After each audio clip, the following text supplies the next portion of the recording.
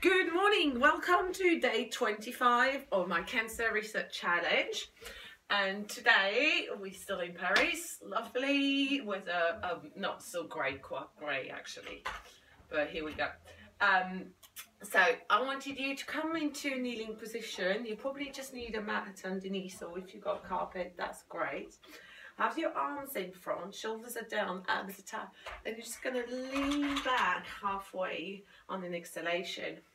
So you're going to work your glutes, you're going to work the front of your thighs, leaning back. And again, so I'm going to turn around a little bit, lean back and up. That's it. Back and up. And again, lean back up. So as you're leaning back, it's not really sitting back on your heels, yeah? It's really leaning back. And give me a couple more. And one more time. He's gonna cry a little, Lucas. And then release. All right, and then we're gonna sit and we're gonna go into a lean back again. And we're just leaning back, taking your pelvis forward, leaning back, and working your um, rectus abdominis, your abdominals. That's it. Lean back. And now you can twist at the rotation, looking at your hands, and twist. And again, twisting back. Perfect working on those obliques.